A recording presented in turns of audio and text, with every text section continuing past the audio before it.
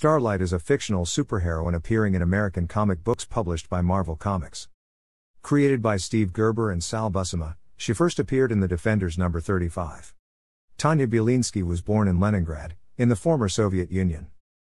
Tania became a young neurosurgeon, though after her dissident father Andrei had been sent to Siberia, she adopted a costume and persona similar to the original Red Guardians.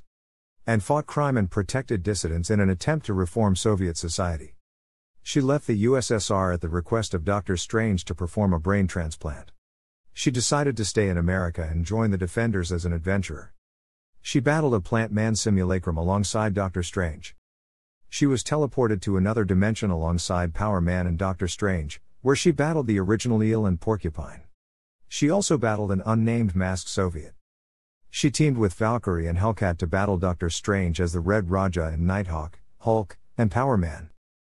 Dr. Belinsky was brought to the lab complex of Sergei Krylov, alias the Presence, a scientific genius who had become one of the most influential men behind the scenes of the Soviet government. Sergei mentally dominated Tania, and used a Chernobyl like nuclear disaster to transform Tania into his superpowered thrall with nuclear powers. She battled the defenders alongside the Presence, and then separated from him. She was later assigned to investigate the Presence's reappearance, and after battling a giant amoeba, she reunited with the Presence. Alongside the Presence, she encountered the Hulk, Darkstar, Crimson Dynamo, Vanguard, Ursa Major, and Professor Phobos. She and the Presence left Earth since their radiation levels were too dangerous for them to remain. Tania and Sergei were eventually revealed to be laboratory subjects on one of the Stranger's laboratory worlds. After regaining their freedom, Tania took the name Starlight and returned to Earth with the Presence and Jack of Hearts.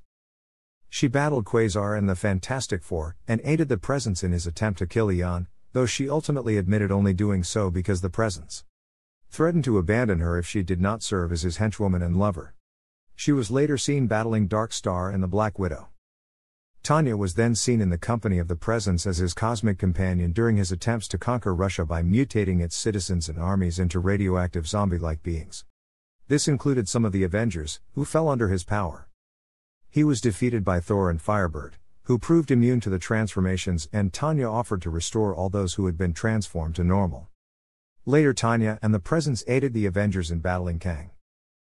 The Presence was planning to capitalize on the chaos Kang had sown on Earth by attempting to conquer Russia again once he was defeated, but Tania refused to allow it, and this time, it was Tania who threatened to desert him if he did so. At some point, after the Kang War, Starlight was able to reduce her radioactivity enough to reintegrate within society without fear of causing death to those around her. She later joins up with other Russian heroes to form the Protectorate, serving Immortus as palace guards against the dire wraiths. During this time, she falls in love with her teammate Vanguard. When the team manages to banish the dire wraith queen back to limbo, Tania is sucked along with her. As a result of mutation from cobalt radiation, Tania has superhuman strength, stamina, and durability. She can generate nuclear energy for flight at supersonic speeds, and to project radiation blasts. Starlight gives off low levels of nuclear radiation at all times, putting normal human beings who associate with her for any length of time at risk. Tania has a gifted intellect, and is skilled at neurosurgery and medicine, with a PhD in medicine. She also has extensive experience in hand to hand combat and is a highly skilled athlete. Thanks for watching.